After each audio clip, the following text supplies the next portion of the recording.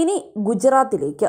ഗുജറാത്തിൽ നിയമസഭാ തിരഞ്ഞെടുപ്പ് ആദ്യഘട്ട വോട്ടെടുപ്പ് നടക്കാൻ വെറും മണിക്കൂറുകൾ മാത്രമാണ് ബാക്കിയുള്ളത്.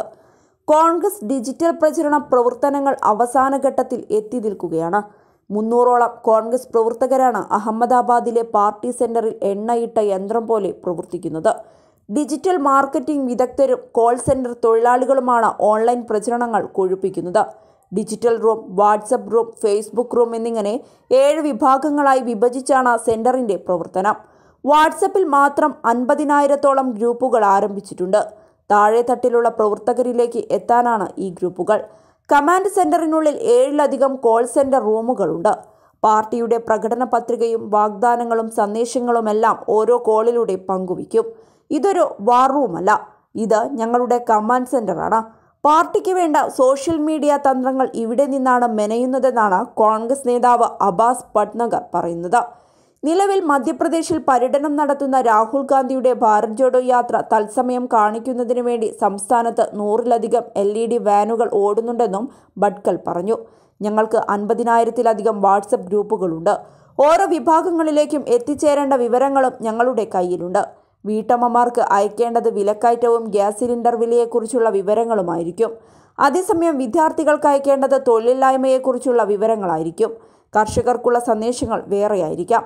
അതുകൊണ്ടാണ് എങ്ങനെയാണ് മെസ്സേജ് അയക്കേണ്ടത് എന്നത് സംബന്ധിച്ചുള്ള മൈക്രോ ഡാറ്റകൾ ഞങ്ങളുടെ കയ്യിലുള്ളത്. കമാൻഡ് സെന്ററിനുള്ളിൽ എല്ലാവർക്കും വാട്സപ്പ് ഗ്രൂപ്പുകളിൽ സന്ദേശങ്ങൾ പങ്കുവയ്ക്കാൻ മൊബൈൽ ഫോണുകളും നൽകിയിട്ടുണ്ടെന്നാണ് കോൺഗ്രസ് നേതാവ് കെയൂർ ഷാ പറഞ്ഞത്. ഇക്കുറി പതിവ് തന്ത്രമല്ല കോൺഗ്രസ് സംസ്ഥാനത്ത് പഴറ്റുന്നത്. താഴെത്തട്ടിലുള്ള പ്രവർത്തനങ്ങൾ ശക്തിപ്പെടുത്താനുള്ള ശ്രമങ്ങളാണ് പാർട്ടി നടത്തിയത്.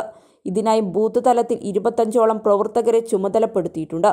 വോട്ടെടുപ്പ് ദിവസം പത്ത് വോട്ടർമാരുടെ ചുമതലയാണ് ഒരു പ്രവർത്തകന് നൽകിയിരിക്കുന്നത്. ബൂത്ത് പിടുത്തം ഇ വി എം കേടുപാടുകൾ എന്നത് സംബന്ധിച്ച് അറിയിക്കാൻ പ്രത്യേക ഹെൽപ്പ് ലൈൻ നമ്പറുകളും നൽകിയിട്ടുണ്ട്. രണ്ടായിരത്തി പതിനേഴിലെ നിയമസഭാ തിരഞ്ഞെടുപ്പിൽ എഴുപത്തിയേഴ് സീറ്റുകളായിരുന്നു കോൺഗ്രസ് നേടിയത്. ഇക്കുറി നൂറ്റി ഇരുപത്തിയഞ്ച് സീറ്റുകൾ വരെ നേടാനാകുമെന്നാണ് കോൺഗ്രസിന്റെ അവകാശവാദം.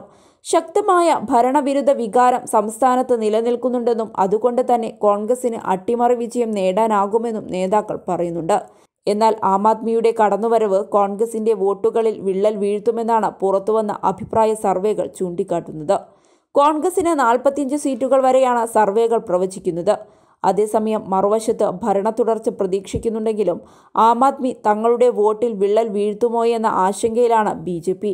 ഇത്തവണ നൂറ്റി മുപ്പതിനു മുകളിൽ സീറ്റുകൾ നേടുമെന്നാണ് അവകാശപ്പെടുന്നത്.